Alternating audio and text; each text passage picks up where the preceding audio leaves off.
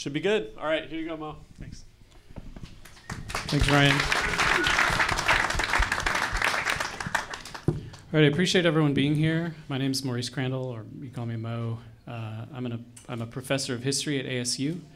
Um, and I'm a, a, lifelong skateboarder and um, also a member of the Yavapai Apache Nation, which is, if anyone came here on I 17, you get to the Camp Verde exit and there's a big casino there. That's our casino, Cliff Castle. So go and gamble there and spend money. Because it might, a little bit of it might make its way to me eventually. Um, tiny bit. Although it paid for my education. I got a PhD with no debt thanks to tribal scholarships. So. Um, so today the panel is you're skating on native land, and I had some conversations with Ryan uh, a while back when he, he was already well into this, and um, but thinking about ways to kind of kick this off in the right way, and um, so the, so the purpose of this is to let everybody know that wherever you are, whatever you're doing, if you're in the Western Hemisphere and also uh, many other parts of the world, that that you are on indigenous land, that you are on land that belongs to tribal nations and peoples who have a history of, of living there and, and um, since, as we say, since time immemorial. So even before we can remember. Um, and so the idea is to start things off that way, especially in a place like Phoenix, which, if you haven't been here before, if you don't have a lot of experience, this is a really indigenous uh, city, and indigenous area. Uh, sometimes I, when I'm teaching my students, a lot of them are from Phoenix and from the area. And I, I ask them, do you know why, if you go um, kind of to the east and, and get to Chandler, do you know why the city stops essentially? At a certain point, the you know kind of buildings and the sprawl ends, and then it's seemingly sort of unoccupied space or there's a lot of open kind of open rangeland and i ask a lot of my students do you know why that is and almost nobody knows and then i say well that's because there are, indian nations right there right within phoenix. And so like gila river salt river i mean we have uh, fort mcdowell. We have numerous um, indigenous communities right here in the phoenix valley and most people don't realize that um, because they're sort of hidden within plain sight. Uh, they might only know of, of the casinos and sort of like the entertainment side of that. But you are literally on indigenous land. You're you're on native land. When you skate around the valley, you're on native land. Um, and this panel is a reminder of that. In particular, in, in Phoenix, you are on O'odham and Piipaash land, which is Pima Maricopa communities. If you go a little bit east of here, you're on um, Yavapai land. If you go beyond anywhere in Arizona, you're going to be on Apache, Yavapai, Hualapai, Havasupai, no matter where you go, you're going to be on indigenous land. Um, so this is a, uh, to serve sort of as a reminder to that, but then also to um, hopefully expose some of you who aren't familiar that there's a there's a long-standing, thriving indigenous skate scene that has been around for a long time, and um, I personally, I'm not going to claim that I've been involved deeply in that for a long time. I've always been a skateboarder. Um, but these are the people who have. And, and so that's why I asked all of them to be part of this. They are sort of the, the godfathers and mothers, the god people of uh, indigenous skateboarding.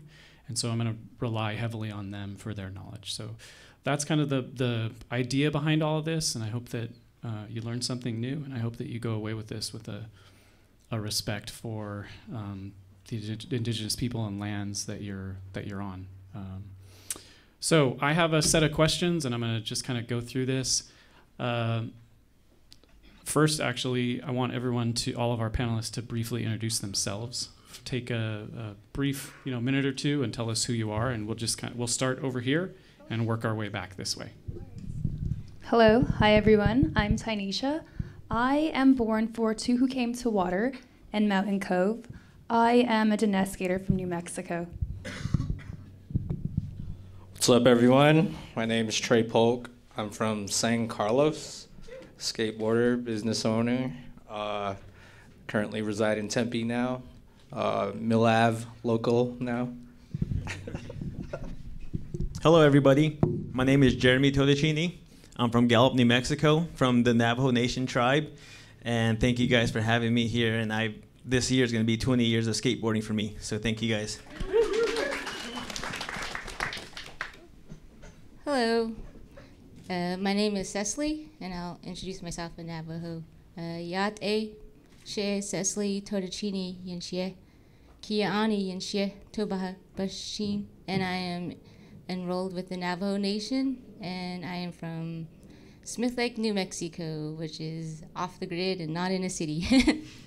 and I've been skating for over 13 years, and I don't know what I would would have would be without skateboarding. Thank you.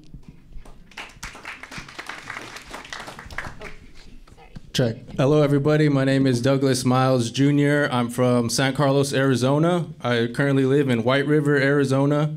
It's over in Show Low, uh, in the White Mountains. I am a professional skateboarder, a filmmaker, and a business owner. Hey everybody, thank you guys, everybody being here. It's really awesome. Thank you, shout out Ryan for putting this together. Thank you, Ryan. He's skate after school, woo woo. But uh, uh, oh, New Balance and, and ASU, thank you both. uh, but uh, my name is Reuden Ringlero. I am Akimel O'odham Pima from the Gila River Tribe, which is just south of here. Uh, where South Mountain is, our tribe is just on the other side. So basically, you're kind of on O'odham land right now. Um, that's the land that you're on. Uh, the land of the Hohokam people. We lived and built off of canals. There's a big canal system that we built many, many years ago, which is now from, which is our local communities use uh, the canal systems today. But uh, it's pretty cool. If you walk around, you'll see the old canals. You might even see pottery on the ground things like that. Uh, just if you take a walk with, I appreciate you guys being here. Uh, I've been skating for a long time with Doug and uh, just been a part of Apache forever and just love skating and supporting, especially on the res, you know, uh, keeping kids going out there. So thank you guys for being here. I appreciate it. Yeah, I want to uh, thank Ryan and ASU, of course, and uh, New Balance also for inviting us to be a part of this. This is an, uh, I feel it's an important gathering. I think uh, some of the smartest and most innovative people are here uh, to be with us this morning. I think, and it's only smart and innovative people that really are interested in what we're about to say. I am the originator and founder of Apache Skateboards, uh, which we've been doing this for uh, over 20 years, of course, with Doug and inspired by Doug Jr., of course, because I could not afford a name brand skateboard. So I made one for him from a blank skateboard, and that's how it started. I didn't have enough money um, for the $55, $60 skateboard. And it's funny if you think about it now, you look back, skateboard prices have gone up, but not that much. But I bought him a blank one, and that's how it started. And I also created the phrase, you're skateboarding on native land or you're skating on native land as a reminder uh, because I've, I've, for all the, you know, for all these years, I've watched brands come into our barrios, come into our reservations, leave, come into the neighborhoods and leave, and not really offer anything except a couple of stickers or some product. And I thought, wow, it's like uh, I felt like somebody needs to be reminded that you're on native land, but also if you come to our neighborhoods, you come to our reservations, you know, we're inviting you. Anybody here that's been to San Carlos, you know that we fed you we fed you stew, we fed you bread, we had you a place to stay. So we took care of the people that came. But I always felt like sometimes some brands, they don't really think about how can we really, really help these communities. That's what I was thinking. Besides just throwing out product, you know, letting kids fight over this product. So that's really where I believe skateboarding has to go next. Is let's build communities. It's cool to be a dope skater, but it's cooler to be a dope skater working in a community.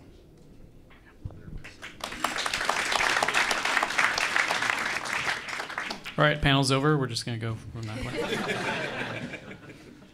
you actually anticipated a lot of my questions, so sh- shit. No, I'm just kidding. Uh, actually, I, I, uh, so I'm a, I'm an, I would call myself an ethno historian. So I'm interested in uh, people's narratives and where they where they come from and sort of their backstory. I don't want to spend a ton of time on this, but I am interested in how each of you got sparked on skateboarding. Like what what started you to be interested in skateboarding? Uh, was there anything specific, or can you remember like a, a time or a thing or a person that initially got you interested in skating? So, and anyone can answer this. Okay, cool. Oh, all right. So, um, it was a source of transportation. I just wanted to get to point B without walking. Um, I got to give credit to my older brother because like he's the one that really set things off with skateboarding. But on top of that too, in the little neighborhood where I grew up, there's always been skateboarding around, and there used to be like this really old spot where we used to skate. And that's where everything started because like just seeing so many different like native skateboarders around that were older than me, you know, it really sparked me. And just to this day, I still feel that spark. So like, I still feel very blessed to just to be getting older, but still loving skateboarding the way I did when I was young. Thank you. Anyone else? All right, so it was on Christmas one morning. all my cousins, uh, they woke up and uh, they all got pretty good, like legit sized skateboards. And I was the youngest, and I ended up with a little cheap plastic board, plastic wheels, and that kind of like pissed me off, you know, as a little kid. So from there, they all stopped skating one by one, and I just took all their boards, and I kept on going. I kept on going, then eventually got a pro board and whatnot. And that's how it started. Well, uh, for me, I guess you know, growing up in the res, there's nothing else to do but either get drunk, party, go tagging, uh, just cause trouble. And uh, one of my friends picked up a skateboard and they just started doing it, so we just kind of gravitated towards it. Just not wanting to do what all my other friends were doing, you know, and, and most of them, a lot of them are kind of either passed away or they're in jail now, you know, and, and I owe it to skateboarding to keeping me away from that stuff just going out and skating, like, hey, you want to go get high? I'm like, no, I'm gonna go skate. Hey, you want to go spray paint? I'm gonna go skate, or you know, I'm gonna go go do this. And just growing up through that, just keeping me motivated and, and keeping me doing something positive, you know. And uh, I wouldn't have thought it would have led me to here, you know, today doing this. And so I'm very, it's very humbling, you know, to be able to say that, growing up through that, and and to just be here today. So it's cool. Uh, yeah. So the way I got into skating was all my friends in sixth grade. They were all skaters, and they would they would sit in class, and all they would do was, was talk about skating. But I never skated, so I w- there would be a disconnect uh, between me and my friends. I couldn't talk to them, but I wanted to. So one day I just got up and I was like, "Yo, I'm gonna start skating with everybody." And this was around the time when like Tony Hawk Pro Skater, like the game came out, and I was already playing that. So that kind of sparked me and I just wanted to hang out with my friends, to be honest, and, and be able to talk with them. So that's how I started. Alrighty, mine is kind of a little deep, a little yeah, yeah. And um, I guess I went through a traumatic experience of losing somebody I loved. They committed suicide in front of me. So from there, I started going down like a downward spiral. And like like Reuden said on the res, it's so easy to get drunk and smoke, and I didn't really want to do that, so I got a summer job at a at um, what we call a chapter house. It's like a little area where um, it's like a little meeting area provided for the reservation, and there they help uh, provide jobs for the youth, indigenous youth. So that's how I I started trying to get my mind on something else, and I seen somebody skateboarding and I tried his board, and when I got paid that day, my sister took me to the nearest town, which is about 45 minutes from where I lived. And I bought my first uh, Zero pre-made complete with monster trucks. and that's like the first board I ever got, got a kickflip on. And the funny thing is, or the cool thing is that being at this panel is uh, seeing Chad Tim Tim here because when I first seen a, a skate video, it was a 411 that my cousin brought me and I seen Chad Tim Tim's part and seen how he was doing lines and uh, skating ledges pretty fast. That was pretty inspiring, and that's how I always wanted like that's what I had in my mind to try to do and just skate and get my mind off of that. And landing my first kickflip definitely rewired my brain to like, hey, you could, it's okay, everything's okay. You, you fall, you keep going, and you could land stuff. And like, just like that rewiring when you land a kickflip, you can't believe it. Like, you thought something was impossible, but it's possible. And I guess that's kind of helped me, helped me get out of that depression state. Like, like it's possible to move on and to get out of that. That's that's how I found my love for skateboarding, and I've been doing it ever since. And the passion just grew into creating a page, a skateboarding page to get friends together, and it blossomed into advocating for a skate park and coming together and helping design a skate park and working with the Tony Hawk Foundation, and it blossomed into um, uh, being a founder of a skate shop, which is now the first Navajo owned skate shop on the Navajo Nation. Thank you.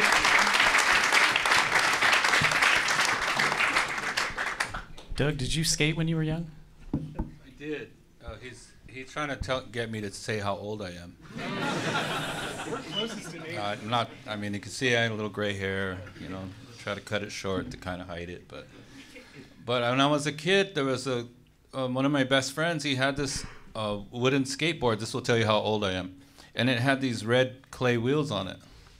And then he, I said, "Let me try that." And so I was riding around on his skateboard. Then I went to my mom the next day. I said, "Mom, Steve is from California. He has this cool thing. Can you get me one?" So she got me one just like Steve's, which was wood and had red clay wheels. And when you hit a rock, it would fly off onto the street, right?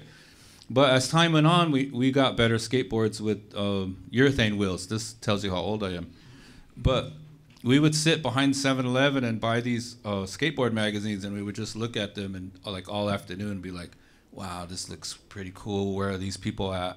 And then of course, you know, you grow up and you move on to BMX and all this stuff and girls, and you know, you kind of grow out of it. Some people do. So when when Doug, my son, started getting into it, I, I remembered it. I remembered I was like, oh, that was pretty fun. I haven't done it in a long time, but so whatever he, you know, if you're a parent and you have kids, whatever they want, if it's skateboarding, get it for them. Whatever they want, I don't care. I, I couldn't always afford it, and for Doug, but whatever he wanted, he he'd show me. Sometimes I don't know where he got these little books. It was a little book. It said CCS on the top. And and we lived on the res, so he said, "Dad, I, I need, I want this." And I looked at the book and I was like, "Oh, this has like thousands of things in here." And so, but whatever he wanted, I try to get it for him. So if you're a parent and you have kids that enter it, get them whatever they want. Because as he got older, I don't know where he was at when he got older, but when he was younger, I always knew where he was at. You know, but later on, you know, I didn't know where he was at. I remember studying CCS catalogs. I had um, or those few pages like in Thrasher that had the mail order, and I'd like circle the stuff I wanted that I could never afford. I mean, it was like I wanted new What deal, about- big sorry. deal jeans that were like. what about 80 bucks. active? Remember active? Yeah, sure. sure. Um, so did did you all grow up consuming skate media? Like what? Did you look at Thrasher or did, like web page type stuff? I mean, I I'm like a generation before most. I mean, we're probably the same generation, but I watched Thrasher in the library. in the library. Yeah. Oh, that's awesome. I checked out. Uh, I think Future Primitive from the Smith's supermarket video rental place. They had VHS and they'd have like three skate videos. It's like a couple Powell Peralta videos and maybe like Speed Freaks or something. You could rent. The first video I watched was um, Kaleidoscope because our um, gal I didn't know where to get a skate video, Right. so I went to or my, my grandma she used to go, she goes to church and at the Bible store I guess they had that Kaleidoscope Kaleidoscope DVD. Okay. that's when I my first skate DVD and it had Yeah. Chad Tim Tim in it too. We got to get these two together. Stay. What about every- what was the first skate video you can remember? Anybody? Guilty. Yeah, it was Shorty, gui- shorty. guil- guilty. Yeah, real. Guilty went. Then it was like uh, all the logics. The Oh, logics yeah, were really yeah. good. Yeah. I have a Fulfill the Dream T-shirt. I have a Shorties T-shirt at home, still in my closet. Ty, do you remember your first video? Um, no, actually, Yeah. I just um, I don't remember the first part, but I remember the first skate movie, and it was Lords of Dogtown. And ever since then, that's just been my Bible to skating. nice. Awesome. I think uh, maybe like the Birdhouse video or like the four on ones. Um, you know, it was like a trip uh, just to go. We got to go to Cowtown to, you know, my dad would bring me from the res and we get to go to Cowtown and go buy a 411. You know, it was like Christmas every time we we got Yeah. to go and get one. Sure. And I didn't get them all the time, but when we had them, you know, it was like that and chomp on this, you know, Yeah, those yeah. kind of things. Growing up with that. Uh, crazy birdhouse video with the ladies in the lingerie and stuff being young seeing that i was like okay this is pretty wild but but uh, I, I won't show my dad this video but uh, it was it was very very hyped on it stuff Uh, my first video was probably.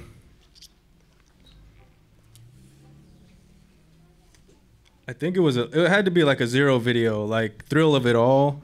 Um, Jamie Thomas. Everybody was talking about Jamie Thomas in, in, in high school or school, like middle school. They're like Jamie Thomas this, Jamie Thomas that.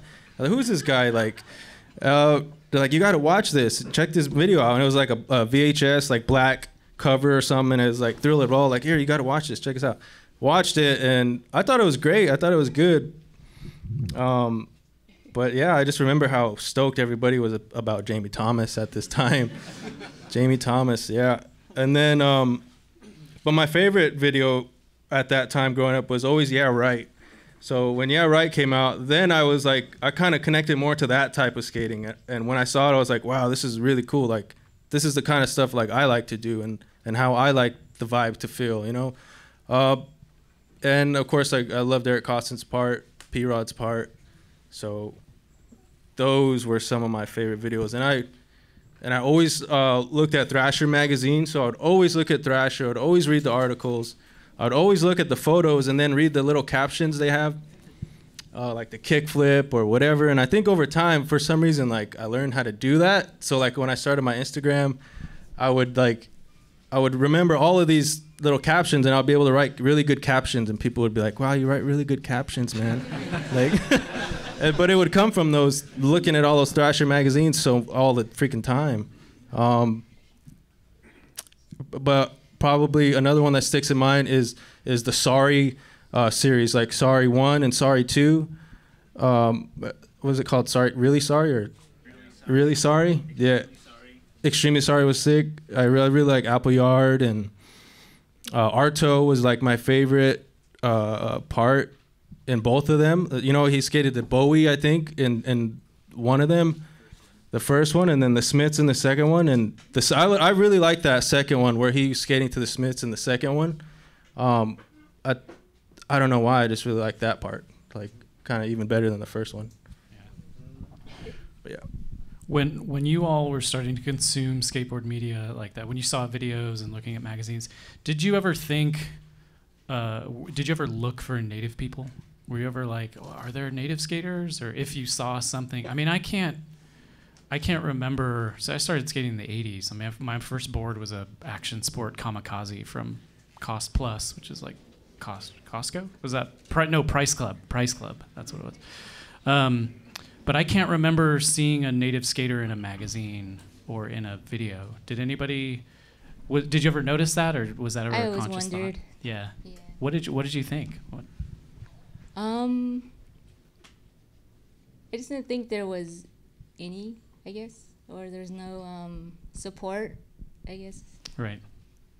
because I knew like there was skateboarders like within my area, like that are native, but like I just didn't think that it was open that much to Native Americans within the industry. Sure. Anybody else have thoughts on that? When I was younger, it never crossed my mind.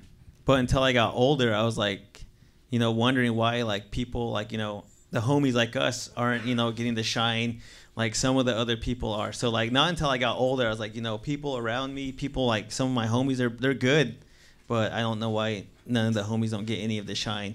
And like that goes for all like native people too, because like there's a lot of really good native skaters, but like I just don't know why they don't get the shine. Uh, and I'm not trying to rip anyone specifically, but I, I did a search of Thrasher, um, uh, just like rudiment. It's not like I did deep research or anything, but I found two Native American related articles in in the searchable history of Thrasher. One was one was about Jeff Ament from Pearl Jam building uh, skate parks on reservations, and then the other one was on Joe Buffalo, the Canadian Cree skater, and like, but it was recent. His kind of coming back around story and the, the trauma that he went through and how skateboarding kind of brought him out of that. Um, but you just don't you don't find a lot of native skateboarding within the kind of mainstream media, and so, and it gets me thinking: is it is that a worthwhile goal? I mean, should should native skaters aspire to kind of be part of the mainstream media, or should they just sort of forget it and do their own thing? I mean, what I think it's think? inspiring, like especially seeing like Joe Buffalo. That's definitely inspiring, and it like makes me feel proud to be indigenous, even though he's from a different nation. But it's just just seeing that representation matters. Sure. Okay, representation matters. So we, I don't. Did anyone else look for people who were sort of like maybe not necessarily native but brown? You know, like I, I liked, um, I liked Ray Barbee I liked uh, Tommy G. I like people who were a little more relatable. Um, Chico, yeah, for yeah. sure. Um, yeah, Chad, we need Chad to. Tim Tim. Again. All right. Uh, okay, so sh- shifting gears a little bit, um, the idea came up about uh, building a scene, which is sort of like a, a, hip phrase that you see in a lot of skateboard media right now. It's like we got to build a scene, and we got, and I think a lot of people do genuinely try to build scenes, but collectively here you have people who have literally built scenes. Um, so I want to hear a little bit about that, Jeremy and Cecely. Why did you want to open a skate park or a skate shop? Well, in the beginning, like in Gallup, because it's a small town and there was really not that much of a big skate scene, so we um, created a Facebook page called Enchantment Skateboarding, and from there we would. Uh, one of the goals is to share what spots we're skating, share some skate clips that we filmed with friends, pictures, a little contest, DIY bills, and and that's how we started like getting friends together and starting to meet up, skate street spots, build DIY spots, and um, from there, uh, we seen a uh, in the in the newspaper the city had put up like that they wanted to get uh, some skateboarders into a city meeting to see if it's if it's worth to build a new skate park. So me, Jeremy, his brothers, and a few of our other friends, we uh, attended the the city council meeting. Ty was there too, and um, we spoke about how we feel about getting a new skate park and how it would make a big difference for our community and around the whole area. And from there, they they agreed, and we started to do plannings and uh, hosting events for Arts Crawl and trying to raise money to be a part of uh, a part of everything. So that's how it started blooming from there, and it started to just slowly, slowly uh, become what it was, and sure. yeah. That's cool. Yeah. When I when I created Apache skateboards, I wasn't really thinking like to go with, with what Mo was saying. I wasn't. We weren't really thinking about a scene, quote unquote. It was just doing something that was fun for kids and that had art that would reflect our culture. Because I was seeing a lot of like pan pseudo Native American graphics, and you still see it sometimes, not as much in the skate industry I've seen a lot of like kind of cheesy Native American graphics throughout the years in the skateboard industry, and and then I would look at it and I'd be like, hmm, I wonder if that guy's native. So I just felt like, well, we might as well do it ourselves. Cause it's it's kind of like one thing to like complain about it, but it's another thing to like just make it yourself. And then from there, you know, we're talking to you now, but I wasn't like we weren't. I wasn't trying to make a scene. I was just trying to um, because I was looking at all those artists and I was looking at all those graphics and I was looking at like like Ed Templeton boards and Mark Gonzalez boards and I was like, dang, these these guys are good artists. And I was like, I could, I could do that. We could do that, and we could represent a community, and we could represent the Apache people, and we could represent the tribe, and whatever it became after that, it just became that. I don't know how, I don't, I don't know how that happened, other than when you do something long enough, you know, it just people start to notice, I guess. Okay, so I'm going to put Ty on the spot. you you mentioned to me yesterday that you want to start at some point in the future building spots on Navajo Nation. Yeah. So So tell me about that. So right now, I currently live in Phoenix because I'm working with construction workers and we build skate parks. So right now, I'm working on Solano Skate Park. Um, it's a lot of fun. Day one, lots of sun.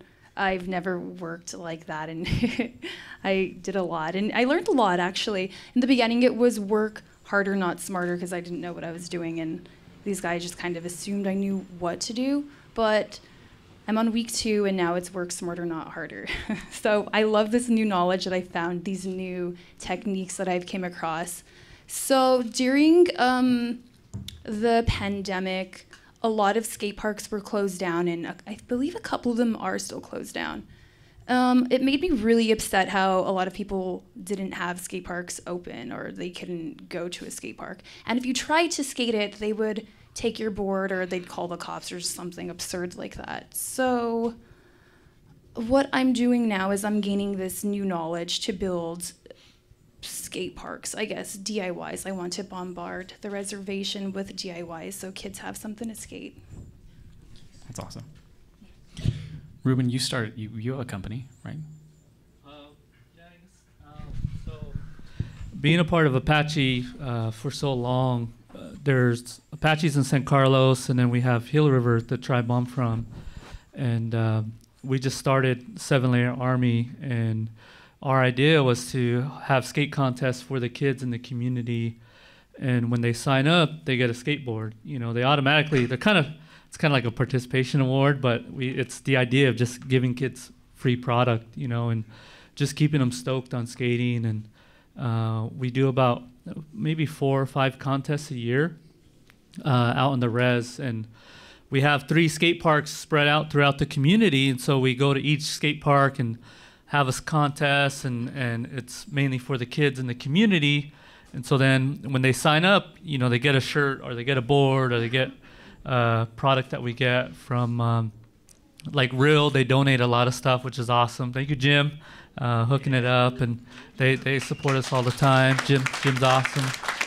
And um, that's kind of i guess the scene that we like to do is just keep kids motivated. You know it's kind of weird because i thought about it i was like well when you're in the city street skateboarding is that's skateboarding right you know but for us the res we have skate parks and that's what we that's what we rely on which is kind of the opposite. And um, but like during the pandemic, they were closed, and we had our first event last year because uh, they started slowly opening up the skate parks again. And when we had the the event, the kids were like, "I stopped skating because the parks were closed. I I I, I haven't been skating for a while because the park was closed. I didn't have anywhere to go." And so that motivates me to keep having these contests. You know, like okay, well, let's have these contests to give these kids prizes and keep them skating. You know, and I didn't have that growing up. I didn't. We didn't have skate parks, and um, now that I'm older, I wish they had them when I was younger. But but but that's the idea. Is just to to keep these kids motivated. So hopefully. Whatever they have to go through at home, you know, the, the drunkenness and the, the fighting and all that, that spark in skateboarding is what'll what'll keep them motivated. So that's that's kind of what we what I do today, and um, it's a lot of fun, you know, and it's never have to call it work, you know. It's it's a, it's a lot of fun for sure. Tray, I'm gonna. this is totally now. I'm shifting gears again completely. Uh, we don't. I mean, I don't know you super well or anything, but I I lurk your Instagram a lot because it's interesting. You got a lot of interesting posts. Uh, you own your own business, right? Are you are you a business owner? Yeah, yeah. I own like a company that I just started. It's like all moving and all that stuff, like you know the nine to five kind of thing. But I also have a clothing line. It's called Oddity Skate Apparel, but that's kind of like underground, heavy. Signature wax as well. Don't you have a signature? Oh yeah. I have a signature wax out there. It's from a company called Sea Wax Skateboarding, out based out in Texas. All right. And that was Okay. like really random how that happened though. So, how did the talking about random? How did the Gucci thing happen? What's behind that? Which one? Any of it? tell, tell us all about Gucci and your connection. All right, so all that Louis Vuitton stuff, all that happened through the stock market. I got into the stock market one day, and uh, I just started studying it really hard, like the way I do skateboarding, and I kind of mastered it. And in like one day, I won't tell you guys how much I cashed out, but I ended up in Vegas after that. like one morning, I went to work. The, in the nighttime, I was in Vegas. But yeah, it's, it's, it's a bunch of random stuff that you can like master if you put your mind to it. Just answer it. Okay. Good enough. Um, where are we on time? Okay, we got a little bit of time still. Um, I'm curious where you see anyone here, where you see Native American skateboarding going in five or ten or twenty years. I mean, none of us can really forecast, but where where do you see it going? Doug, you No, I, I just wanted to take, go back to a question before where you asked about representation in skateboarding in the industry where there is no Native American skateboarding pros, right? In the mainstream skateboard industry. I don't know why. I, there is none. Look around, there is none. Now, it's important for representation, but I just wanted to make the comment that that Cecely, I, I, I've been watching Cecely skate for a long time, and this was before um, um, anybody that wasn't male was getting shine, right? No one was really getting shine. Now they're getting shine, and it's great. I love it. But Cecely's been ripping forever, and I would, and because I think the question was, was there anybody? Um, but anyways, she was ripping for so long. I was like, why isn't Cecely getting shine? Like she is ripping with these other these other skaters. I'm like, why isn't she getting shine? Why is she in the mags? Why isn't she getting love? And I think that's just a comment that I wanted to make because I just thought of that because I would watch you skate and I would be thinking like, why isn't she getting the shine? Like she's ripping, like she's killing it, like she's up there with everybody, you know? And uh, and that's just a question for everybody to think of. And and I'm, you know, I hate to have to say it, but I'm just I'll say it. Um, there there is no Native American pros in skateboarding, and I do wish that there was. I wish I saw one growing up. I wish I was I, I saw one in the mag. You know what I'm saying? I wish I saw one in Yeah Right. That would have been fucking ill. So with that with that, I just wanted to say that. That's all. I just wanted to, to say that. Agreed. Thank you. I'll I second all of appreciate that, especially the Cecely rips. I And to add to that too, like just what he said about Cecely is like I've always wondered that too because she has good sponsors and she has a really good board sponsor. And it's like, why aren't they turning her pro? So that's just one thing. Like his he added it to it. So it's like, you know, might as well just say say the same thing too. He's like, you know, she she rips a lot, and I think people should at at least really know the fight. Then let's just say it. Is the industry racist? Huh? Is the industry racist? Is the skate industry racist? I mean, can we? I don't know. I, I think the skate industry is racist, and I but I think they don't know it sometimes, because I think essentially skateboarding is really exclusive. Like if you can't do it, then automatically you're looked down on. Like oh he's a poser, he can't do what I do. So right away, skateboarding has a built-in exclusivity. Two, I always feel like lately I've been thinking about this saying, skateboarding for skateboarders only. Even though that's not racist, it feels racist. It's for skateboarders only, it's for skaters only. And I'm like, and as I think about it, I was like, they're making it sound like if you don't skate, then you're not good as good as them. So there's a second layer of exclusivity. With that kind of exclusivity in the skateboarding industry, which has been there for decades, this is what makes it difficult for guys like Doug and Cecely to make it. Two, I think skateboarding is very extractive. You have brands, you have companies. Look how extractive Adidas and Nike have become to your core industry. Look what they did. They came in, cherry picked everyone, paid them all the money, and pulled it out. And what did they leave? These are corporations. Now, we can't trash talk them. I'm not going to trash talk these big brands. I want to kick it with the big cigar. I want to be in Vogue magazine. I want to hang out with Rihanna. I'm not going to lie, I'm going to do it too. But these skaters don't do that. They might, you might see us in Vogue. I'm not going to lie, Vogue has reached out to us. But we, these guys deserve it.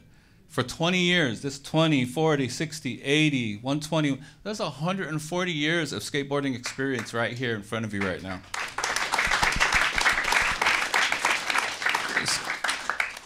Just like Tommy said, throwing themselves down, getting up, throwing them back self down, building skate parks, stoking out kids, traveling to reservations across the nation.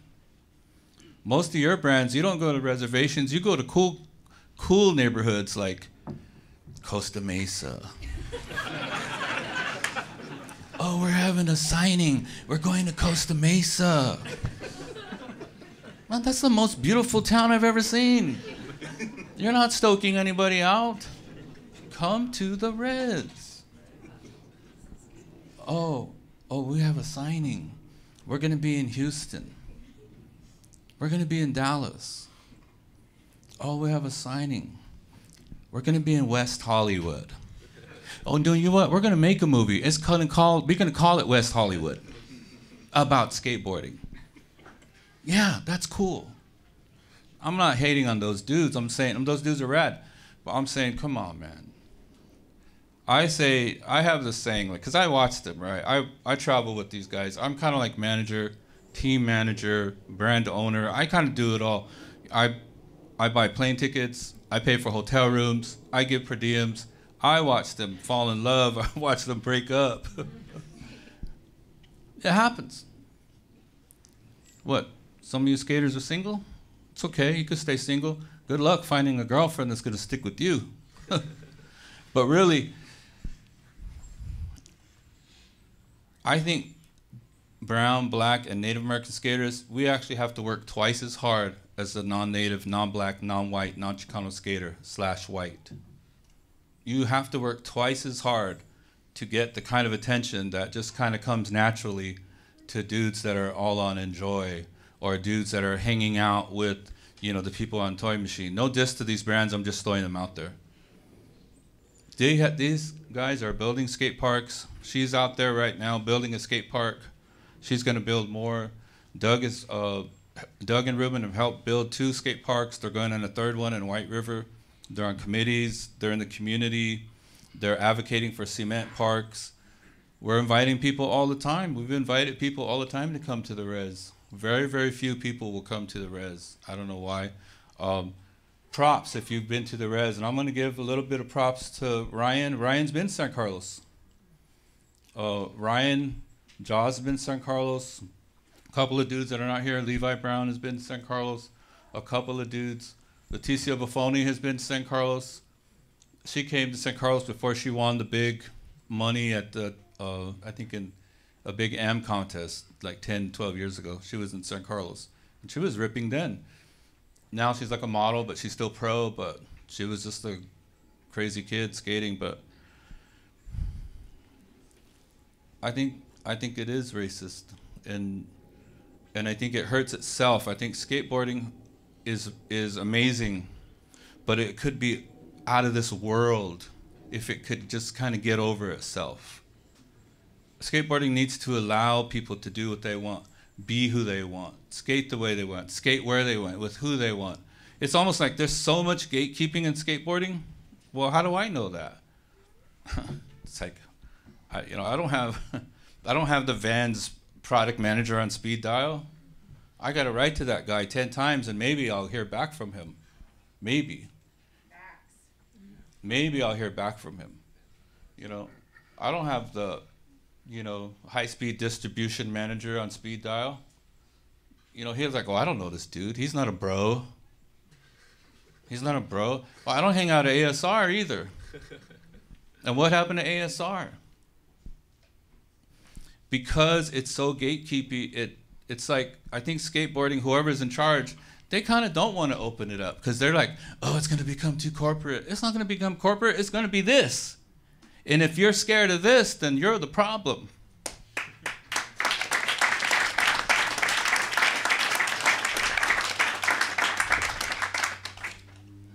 It's going to become like this because, but we are skateboarding too. What you're looking at is who you are. You're really looking in the mirror. We are you and you are us.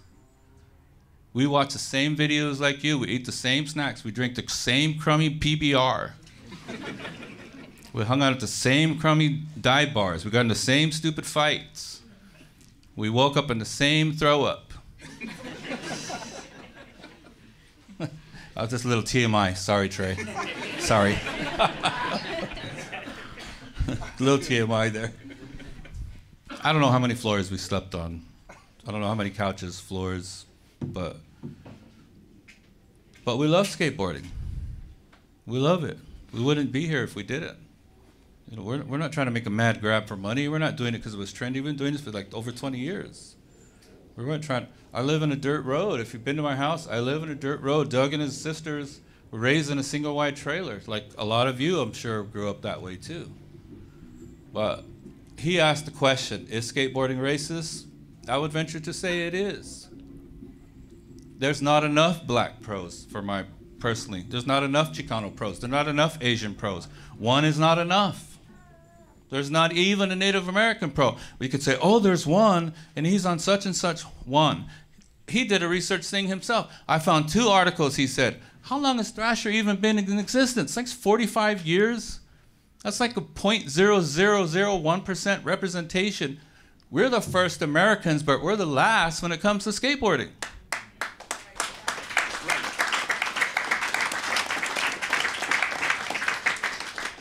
Do you know how many of your brands that we push for you?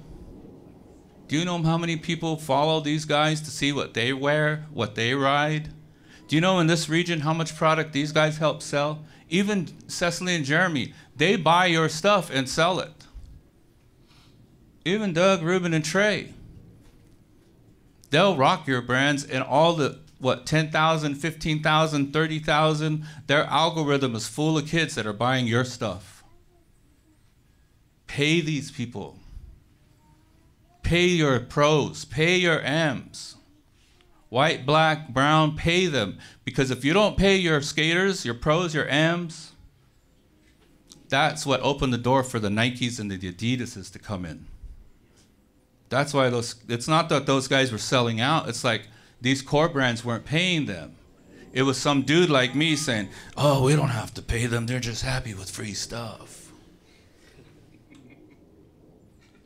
These people weren't getting paid. You weren't getting paid. Skaters were not getting paid. That's why that's how Nike and Adidas came in and took your industry. And it's almost impossible to get it back. Because they had all the advertising dollars, they had all the flash, they got all the great videographers. I watched it. How do I know this? I'm like you. I look at stuff, I read stuff, I pay attention. And I wondered too. I was like, what happened to audio? What happened to Fallen? What happened to that uh, cool brand Erik Ellington had? It was freaking rad. Now, of course, they're not the best shoes in the world, they're the most skatable, but they were dope. dope. Like hip hoppers were all over this stuff, and they're poof, gone. Because somebody up there was not paying you down here. I don't know, call me whatever you want. You know it's true.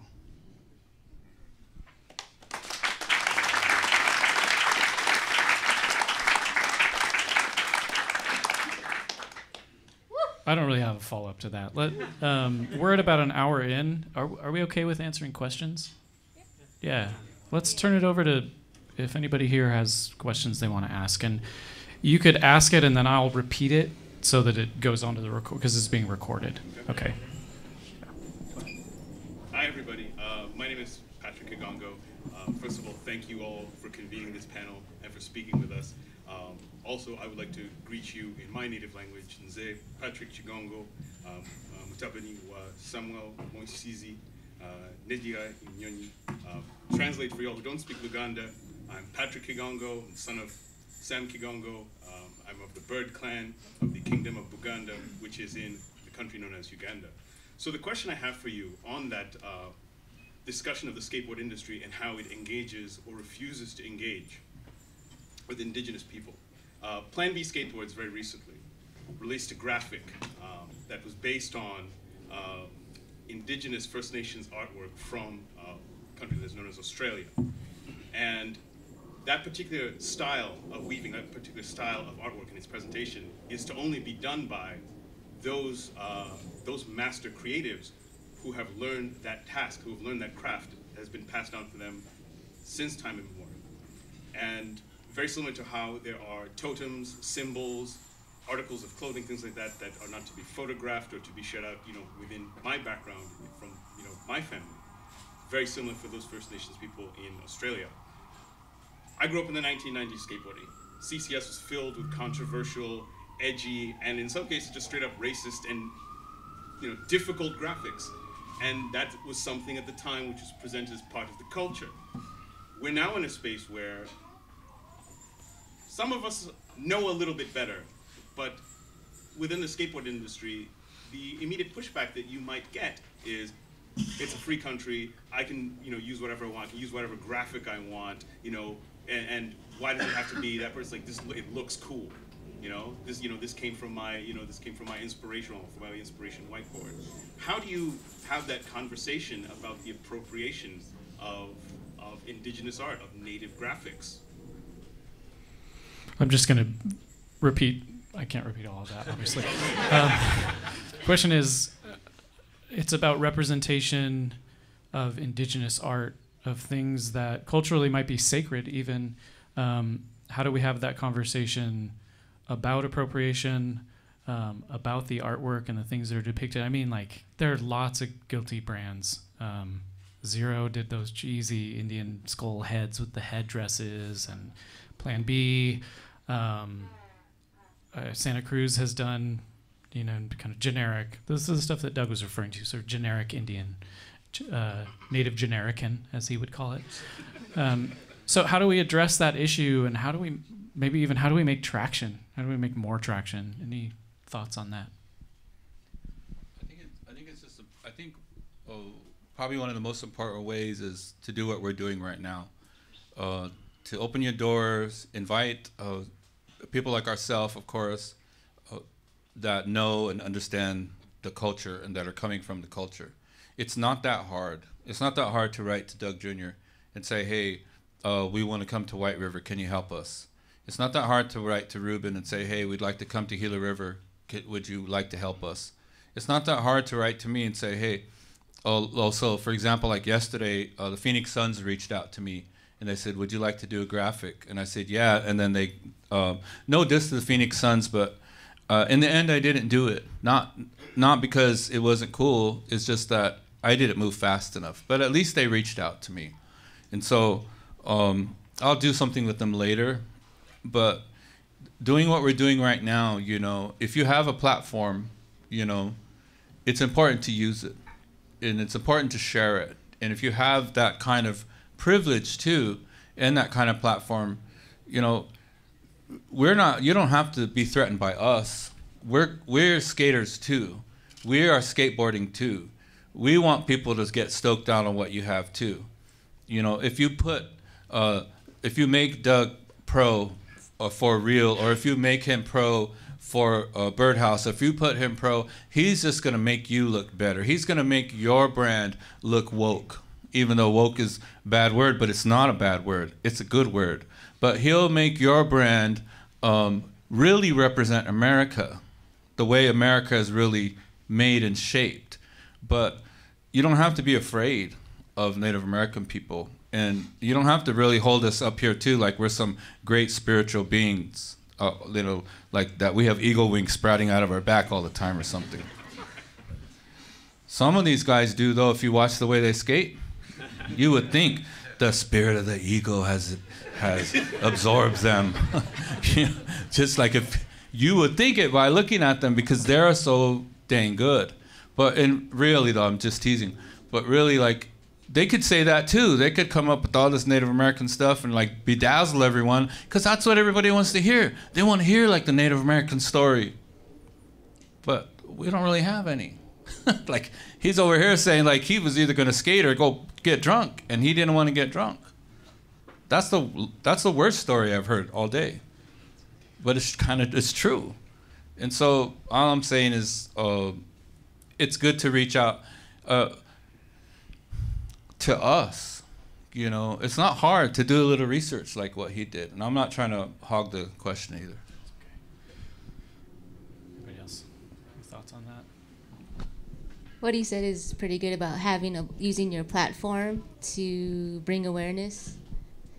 That's that's what I agree on. I think also m- my thought on that is that um,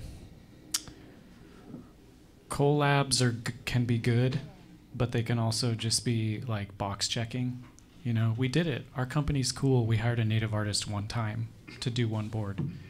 That's not enough. I mean, that's almost as bad as just taking the weaving from a Australian Aboriginal tribe and putting it on a board and then just kind of that's it right okay so you paid somebody once to do one thing like that that's not that's not building relationships that's not actually like um, paying people who deserve to get paid for their artwork that's not using your platform well um, it's extractive in the end i think any other questions yeah I got a question for you. So you searched back on Thrasher when you did the search. Yeah. I, saw, I remember that article with the, the band member of uh, Pro Jam. Yeah. that Did the skate parks at the reservations. But I was wondering, the, the uh, Brian Chappell didn't come out? The board slide down? Because I would have said that would have been the point zero zero zero. on the the recent one, right? So, but it, but I don't think. I no, I mean that Brian Chapo is in there, yes, but I think that was only like based around Instagram. They didn't really put it. Yeah, Yeah. It, was, it was like the SLS kind of. It was all over SLS, and it was mostly only based on Instagram. yeah. Would you He know was that in he was? Thrasher. Twice. One back in the day for Goodwood, he did an ad um, at El Toro. Salad. Frontside Yeah. salad down the Toro. Yeah, But he's not pro for any big companies. right. But he's am- he's amazing too. Yeah. I mean, he's killer. Yeah. Or, but that's the rail, and is it modus operandi where the guy grinds it, and you have the voiceover from the call that's like, you know, not putting the names on there. What are you doing? It drives me crazy. It's that same rail, and he boards it. It's in Denver, right? Crazy. Yeah, yeah. No, but I, he okay. So native people sometimes you'll see them in there, very little. They'll be sprinkled in, but they're not. It's not acknowledged in any way, or it's there's nothing. You wouldn't know. You wouldn't. Yeah. Yeah. Uh, any, do we have other questions? Sure. Um, so like, growing up, and I've been skating like 30 years, you know, since I was a little, little kid. I grew up in like East Bakersfield. Bakersfield's still racially divided to this day. I grew up on the east side, which is all Mexican. I'm very like white looking. I'm, I'm half Welsh, Jewish. Um, but yeah, is there? Because what I've seen is, because it was so gatekeepy and and so, you know, we're, we're the guys that are good, box you out, whatever, like growing up, that that's really affected my progression and things like that. And I didn't really like, until very recently, I had a very life changing experience, uh, kind of opened myself up to like, yeah, I am good. I'm a good skater, man. Like, I'm finally like proud of it and stuff. And it took a long time to like battle that. Do you guys feel that because skating's getting bigger, like, are there any things that you feel are good with it getting bigger and like bad? Because like from what I've noticed, it's like way back in the days, like especially like Bakersfield and stuff like that, I'd bomb a hill like every day to my friend Moy's house. Like I lived on top of like Fairfax Street. My parents still live there. Uh, just bombing the hill, dodging cholos and pit bulls and stuff, to basically like get to Moy's and watch like Subject to Change and stuff like that. Uh, but back then, everybody would like fight for each other. Like you saw another kid on a board, it didn't matter like skin color, anything like that. We didn't care about that. You saw some 20 year old cholo dude like trying to punk out some like 12 year old for his board. Everyone would run over there and like heckle him until he'd be just oh whatever, you know, and you'd take your stuff and be like, ah, you know, because that was like the worst thing growing up was, hey kid, let me see your board. That was the worst thing to hear, you know, because you were like, oh my god, I'm gonna get punked or jumped. But like, I I've seen like, to me, that there's not that as much closeness, but there's a lot of like, like people embracing the uh, the differences and stuff. But like, is there anything that you guys have noticed that's like good with skateboarding becoming really big and bad with skateboarding becoming bigger? I guess is my main thing is like some good and bads that you guys see. Like, is there anything like that? I think I see a lot of good things with skateboarding. Just like like you said, a lot of people being there for one another, and like when people meet up at the skate park, it doesn't matter who you are, race or female, male, doesn't matter. And I think it's changing for the better, and everyone's coming more together. Because back in the day, when I hear like stories about, because I grew up on the res, I wasn't around a lot of skate people until I moved to Gallup. So I used to hear stories about people saying like, "Oh, you're a poser," like just saying like you can't land that, like just being like mean to each other. But nowadays it seems like there's a lot of support and everyone's just like cheering for one another, and it's Right. I almost never hear the word poser anymore. Yeah. it's crazy. It's like- almost extinct. yeah, it's going extinct.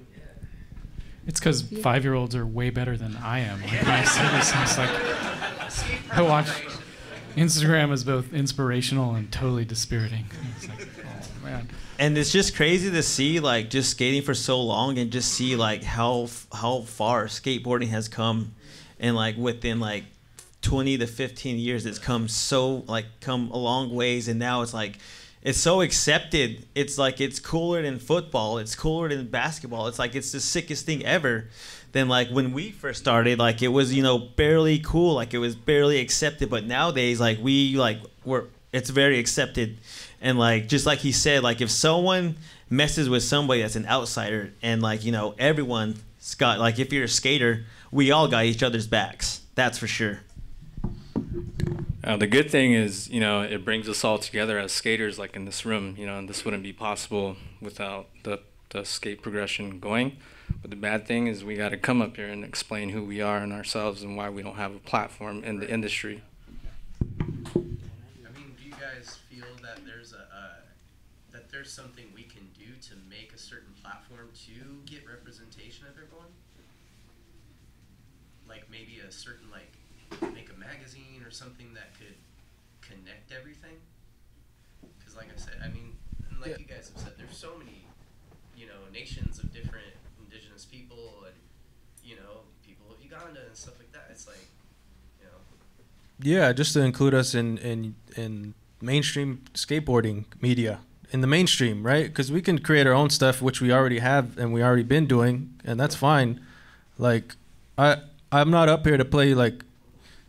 I don't want to be a victim and, and try to come off as a victim either, because I'm gonna do what the fuck I want. I'm gonna make some fucking skateboards and I'm gonna make my own content. I'm gonna make my own media and, and do do it myself. Like I'm not gonna I'm not gonna like keep com- complaining i guess you know what i'm saying if you don't want to do it then we're gonna do it and it's it's coming out sick. Like they got their own like everybody here is is doing that and it's sick. Like we got the kids and like there's a whole community behind it now. Um it's it's a revolution happening in native american country right now. And it was started by him. It was started by this guy right here. And everything in native american country it's happening. It's popping off right? It's popping off. He inspired it i was there to see it. They were there they were along they were doing it too. So i think just include us man. Just include us in the mainstream. It like come on like it's not it's it's not that hard to be honest when i think about it. That's why i trip on it like why Do you guys ever feel that sometimes it's because like certain parts of like California and stuff like that influences so much of skateboarding culture that like maybe it's from people not reaching out to them and, and planting that seed and being where they're at because maybe they're lazy or they don't want to go out of their way. Yeah, because everyone wants you to go to Cali, right? Someone could walk up to me right now and say, "Well, why don't you just go to fucking Cali then? Like, go over there, go move over there, go go make it happen." I'm like, dude, I want to live on the res and stay with my people and help my people in my community. Like I don't need to go to California.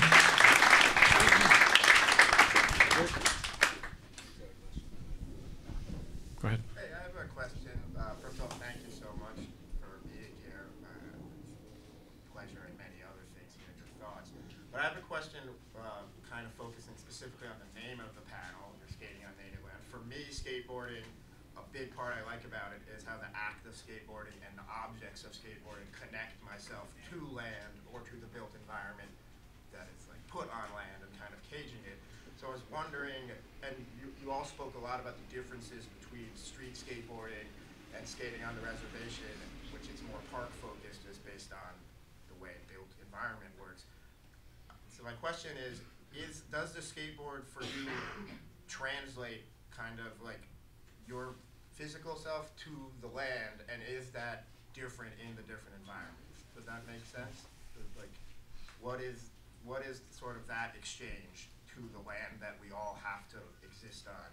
And when you move from your First Nations lands to cities that are built on it, and that's, that's the question. I think I, I can't speak for all of them, but when I created the phrase "you're skating on native land," I wanted also it's like a it's like a loaded question, right? It's like a loaded phrase, but it's kind of like saying, and it's hard to say this, but Native people we think differently than non-Native people. We just think differently about everything. Uh, of course, when we love something, we love it too. Like skateboarding, we all love it. But Native people are are are always going to be tied to a place like land. We're always going to be tied to home. We're always going to be tied to our the lands of our nativity. And so it was a reminder to native people when I created that phrase, but it was also a reminder to non-natives that you know, this is what we're doing and this is where we do it at. And when when I think about land as a native person, I think about like you said, well you're in the city you're on the asphalt, you're in the cement. And yes, that's modern society. But even before the asphalt and cement, like you said, we are here bleeding and living and dying on this land. So the land is really soaked up with our blood. It's soaked up with our blood. So and and blood will speak. Blood kind of speaks out from the ground up that's but also when you look at like when I look at like a, a picture of a skater, they always what do they always show? Like what's the raddest thing to show is like his face is full of what? It's blood. Oh, he it's like the greatest thing you could do is like almost kill yourself on a skateboard and still survive. it's it's the blood. It's the blood that that all of us shed that really makes this land sacred. But we're here first. Native people were here first. So this is what makes us in this land sacred. That's what I meant. I think for these guys skating, I think they're just, you know, there's a lot. I, like, uh, what's his name? Like, he just says so many great things about it. I can't think of his name right now, but he's like a skate philosopher. I can't think of his name, but he'll just go on and on. But he would probably have a lot more to say about it. But uh, Rodney Mullen would probably have a lot more to say about this. But really, I think I think everything that these guys are doing, but I think everything that you guys are doing is amazingly beautiful and sacred in its own way. And I think because it's sacred and because it's beautiful and because it's hard, everybody can't skate. It's hard. And I think because it's already hard, there's no need for it to, to be even more gatekeepy. If you could do it, that's the gatekeep. There's no need to tell people, oh, you can't come in. That's, it's already hard. Don't make it harder for, for people.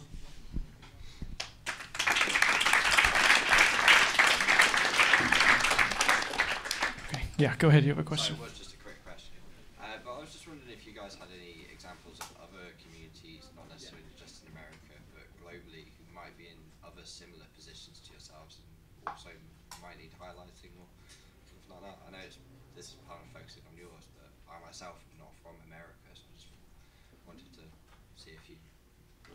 I've seen, a lot of, a lot online about the Uganda Skate Society. I'm seeing a Yeah. lot. I've seen a lot about Uganda. I'm seeing a lot about the girls from the Mayan girls. I can't. I think they're from Colombia. I'm seeing a lot about them. I'm seeing a lot about them in media.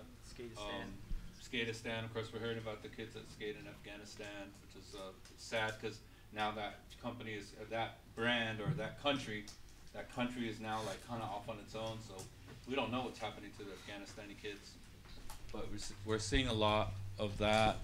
Um, you know, um, and, I- and I agree with Doug. What Doug said, like we don't, we're not the victims. We don't want to. We're not trying to play a victim card here. It's just like he said. Everyone here is doing what we're doing. We're doing it in spite of um, who's noticing or who doesn't notice. Um, but that doesn't mean like we're trying to, you know, we're trying to be number one or nothing like that. We're just working our butts off, and that's why a guy from NPR he emailed me one day. He goes, "Hey, I saw on your Twitter you said uh, Apache Skateboards is the hardest working skate brand in America. Why did you say that?" and I said, "Well, it's true.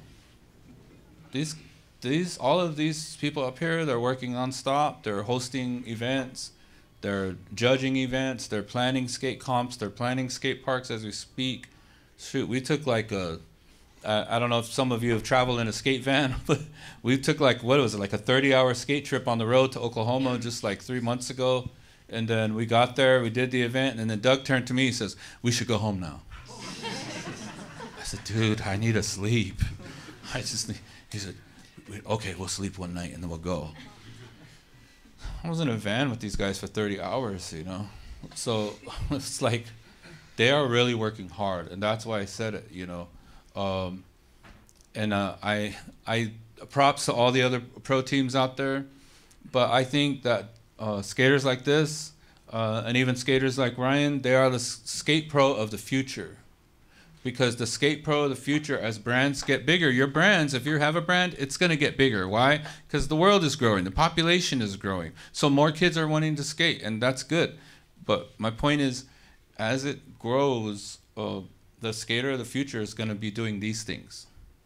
The skater of uh, the skater that's just going to kick it and just wait for their team manager to call them and he's going to say okay he's going to put the bong down.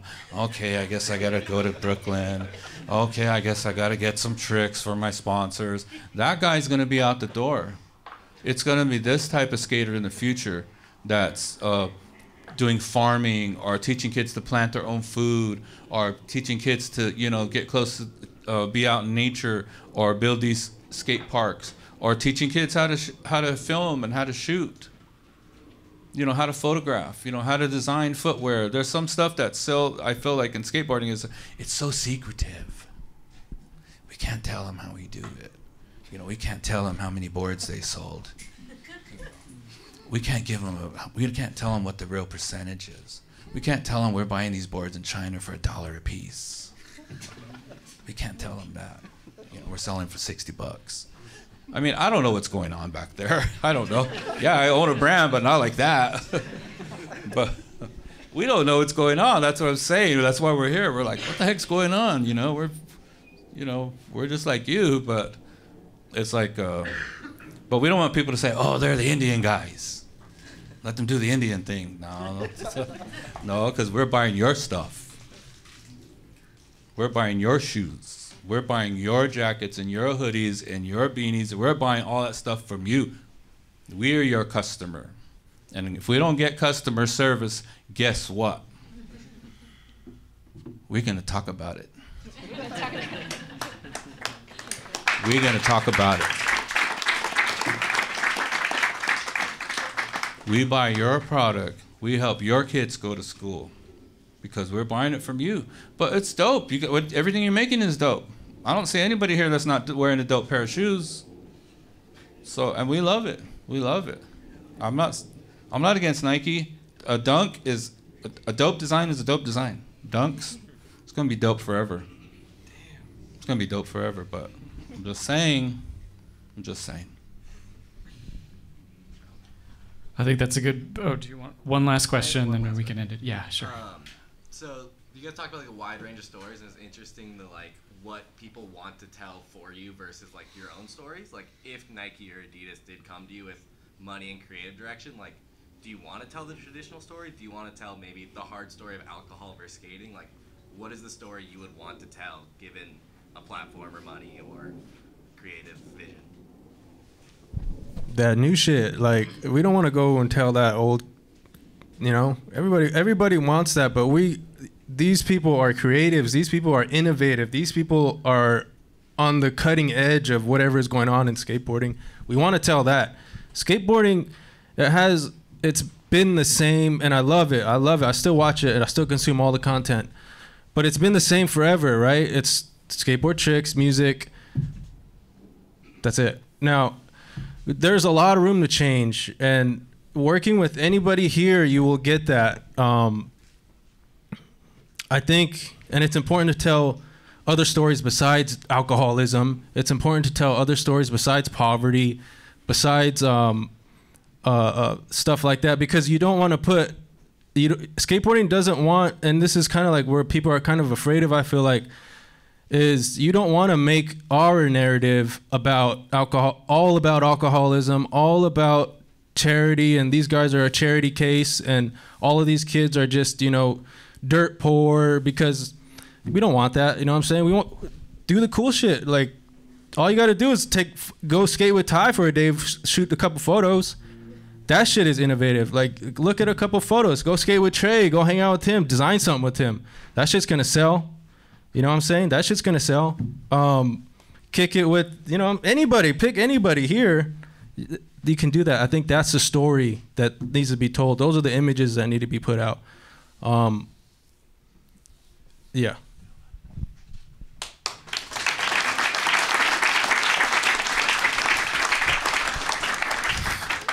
All right, I want to thank everybody for being here today. Um, this has been a a great conversation. Can I hear one last round of applause for the panelists?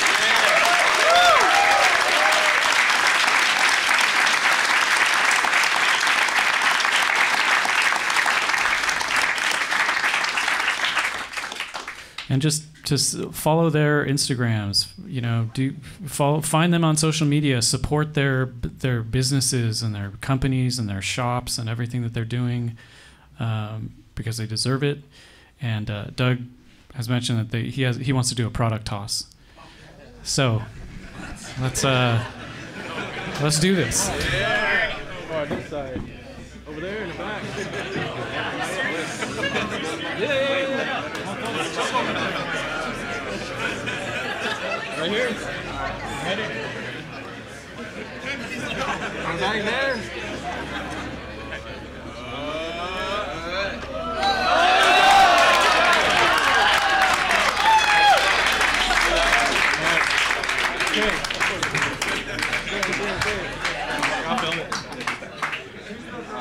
swipe it up. Yeah, please, you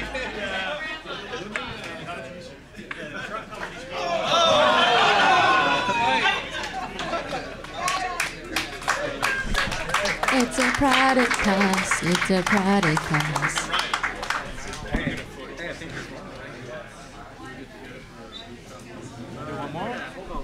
أخيها أخيها شباريس What's that? Oh, نتفو شباريس أخيها Oh God, it's Patrick. Thank you, beautiful people. Thank you for coming out. What?